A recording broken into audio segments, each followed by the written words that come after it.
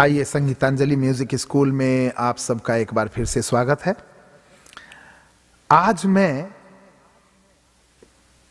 शास्त्रीय संगीत के लिए एक वीडियो रखने जा रहा हूँ और इसमें मैं राग भूपाली में एक बंदिश बताने जा रहा हूँ। पहले के वीडियो में राग भूपाली में मैं सरगम गीत रखा था, जो कि बहुत लोगों ने पसंद किया और बहुत से लोग उसको प्रैक्टिस कर, करके वो मुझे सुनाए भी कुछ लोग और वो लोग उसे अच्छी तरह तैयार कर रहे हैं और धीरे धीरे आगे बढ़ रहे हैं। तो मैं उसी क्रम में आज जो वीडियो रखने जा रहा हूँ। इस बार मैं हारमोनियम पर बजाकर ये बंदिश बता रहा हूँ। तो शायद आप घर में दोनों तरह से प्रैक्टिस कर सकते हैं। जो लोग हारमोनियम बजा के प्रैक्टिस करते हैं, वो भी बजा सकेंगे। और जो लोग बिना हारमोनियम बजा कर गाते हैं, तानपुरा से गाते हैं, वो भी इसे गा सकते हैं, तैयार कर सकते हैं। तो मैं सजेस्ट यही करूँगा कि बिना हारमोनियम के प्रैक्टिस करने की कोशिश करें, गले में बिठाने की कोशिश करें। आइए, शुरू करते हैं।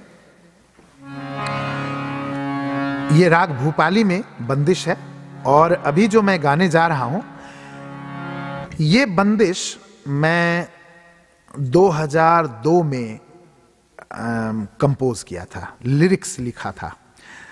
सरगम जो है, सरगम गीत पहले से ही है, जो मैं पहले से ही इसे गा रहा था, और ये सरगम गीत के रूप में ही सभी लोग सिखाते थे। तो मैं इस सरगम गीत को, चूँकि सभी बच्चों को सिखाता था तो मुझे ऐसा लगा कि अगर इस पर मैं कोई शब्द रख दूँ तो बच्चों को सिखाने में बहुत ही अच्छा होगा। तो मैं इस पर सरस्वती वंदना के शब्द लिख दिया हूँ। उसे मैं आपको बताने जा रहा हूँ। तो ये खासकर बच्चों के लिए बहुत अच्छा है। बाद में मैं राग भोपाली के दूसरे बंदिश भी मैं रखूँगा। जो बंदिश महफिल में या थोड़े प्रोफेशनल होने पर गाया जा सकता है। ये छोटे बच्चों के लिए है। वैसे प्रोफेशनल भी गा दे तो क्या कोई खराब नहीं है, परंतु ये बच्चों के लिए बंदिश है। तो बहुत ही सरल है। अभी मैं सी शार्प से बता रहा हूँ।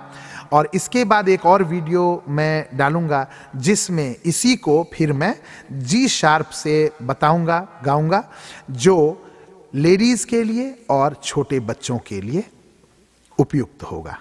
ठीक है? अभी मैं मेल वॉइस के लिए गा रहा हूँ, यहाँ से। राग भूपाली का, पहले मैं आरोह अवरोह और सरगम गीत बता चुका हूँ। एक बार फिर से मैं आरोह अवरोह आपको दिखा रहा हूँ। सारे गा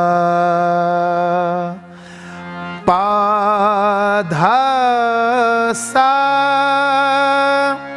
साधा पा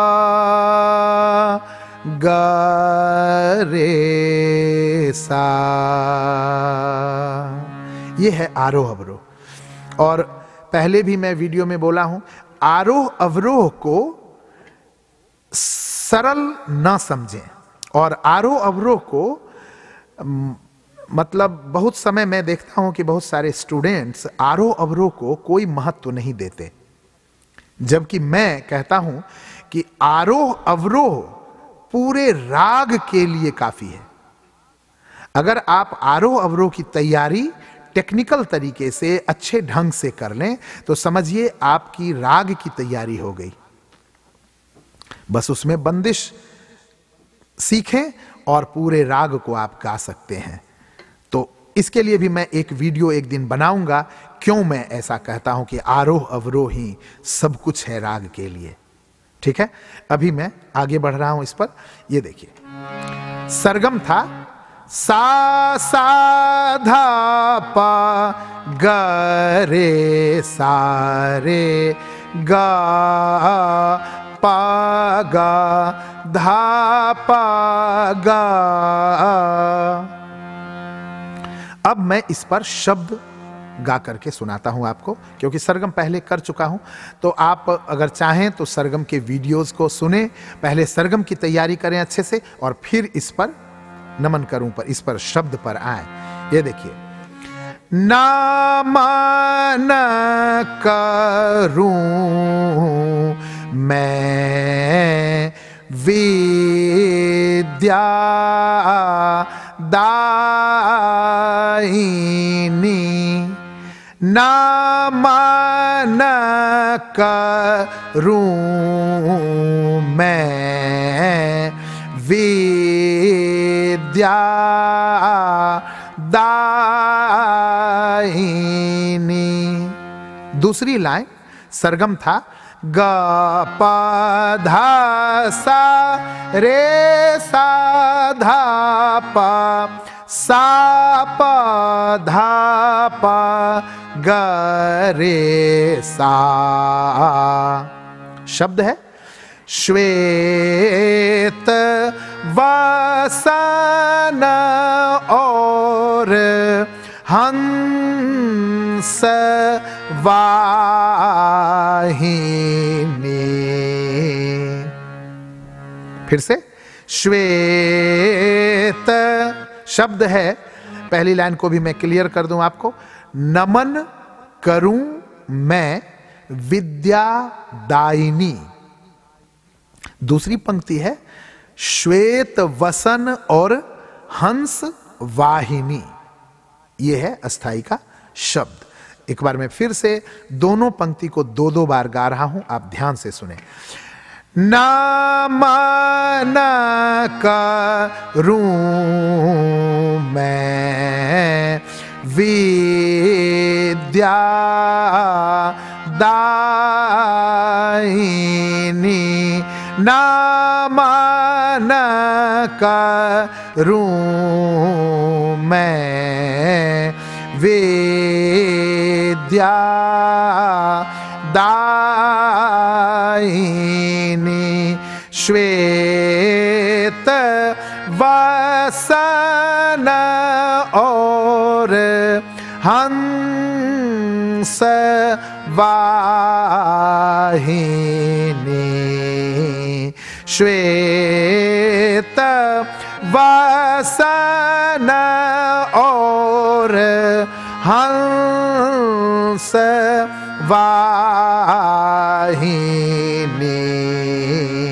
वाहिनी नामन करूँ मैं विद्या दायिनी आइए अब अंतरा करते हैं। अंतरा का जो सरगम है, वो है, अगर आप तैयार कर लिए हैं तो जान ही रहे हैं, फिर भी मैं एक बार दोहरा देता हूँ। गा गा, पा, धा, पा, सा सा, धा धा, सा, रे, गा, रे, सा, गा गा, पा, धा, पा, सा सा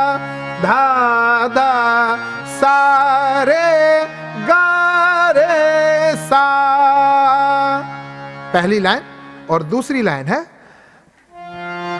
गा गा, रे, सा, रे रे, सा, धा, सा सा, धा, पा, गा, रे, सा। इस पंक्ति को एक बार ही गाना है, लेकिन मैं फिर भी एक दो बार गाकर आपको फिर बताता हूँ।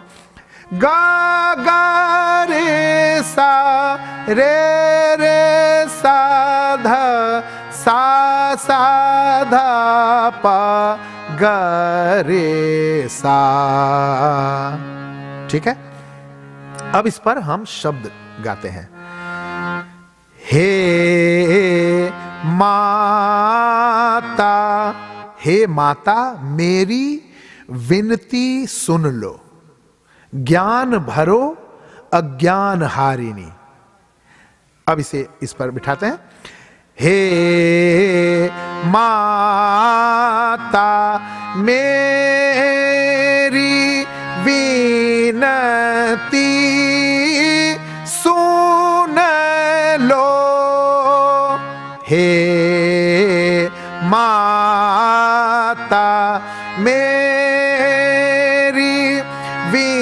विनती सुन लो। ज्ञान भरो अज्ञान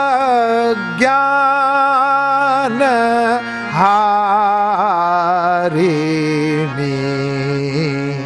एक बार फिर से। ज्ञान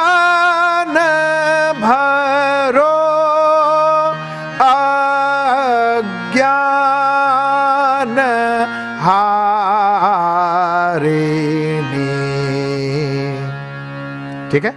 अब इसे थोड़े से स्पीड में मैं चारों पंक्ति को गा करके सुनाता हूँ। ना करूँ मैं विद्या दायिनी ना करूँ मैं विद्या दायिनी श्वेत वसन और हंस वाहिनी श्वेत वसन और हंस वाहिनी नामन करूं मैं विद्या दायिनी नामन करूँ मैं विद्या दायिनी हे माता मेरी विनती सुन लो। हे माता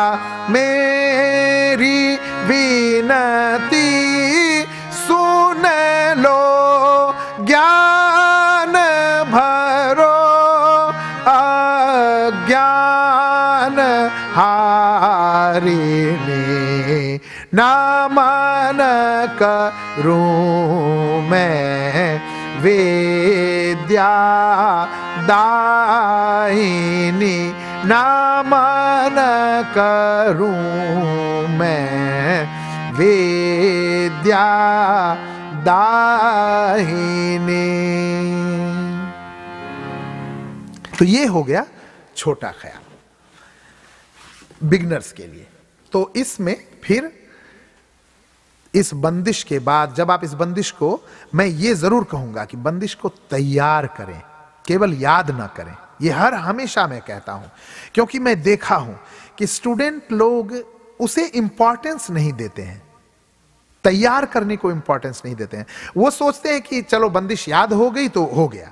सारे गामा पाधा निशा मैं अभी हाल फ़िलहाल में किसी एक व्यक्ति से सुना था, वो मुझे लिखे भी थे कि मैं सारे गामा पाधा निशा बजाना जान गया हूँ हारमोनियम पर।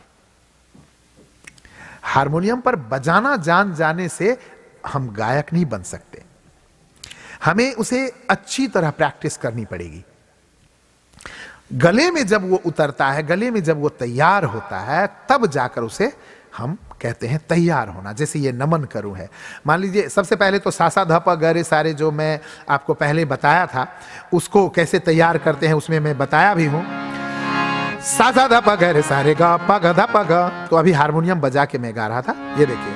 सा सा ध प ग रे सा रे ग प ग ध प ग सा सा ध प ग रे सा। रे ग प ग ध प ग प ध सा। रे सा ध प सा प ध प ग रे सा ग प ध सा रे सा ध प सा प ध प ग रे सा सा सा ध प ग रे सा रे ग प ग ध प ग तो इस तरह से उसे तैयार करना है। फिर बंदिश को देखिए। अभी स्लो में मैं पहले गाया था। ना मन का इस तरह गाया था। अभी देखिए। नमन करूँ मैं विद्यादायिन, नमन करूँ मैं विद्यादायिन। श्वेत वसन और हंस वाहिनी श्वेत वसन और हंस वाहिनी नमन करूँ मैं विद्यादायिनी। इस तरह तैयार करते हैं।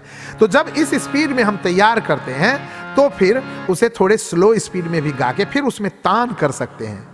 आवाज़ की जब तैयारी हो जाती है तो हम उसमें बहुत कुछ कर सकते हैं। जैसे नामन करूँ मैं विद्यादाई नामन करूँ मैं विद्यादाई सारे घर ग पद पद दद बगर सा नामन करूँ मैं तो कुछ भी कर सकते हैं। ग ध ध ध ध ग प सारे रे द सारे द सारे ग रे ग नामन करूँ मैं वे फिर आ की तैयारी है आ,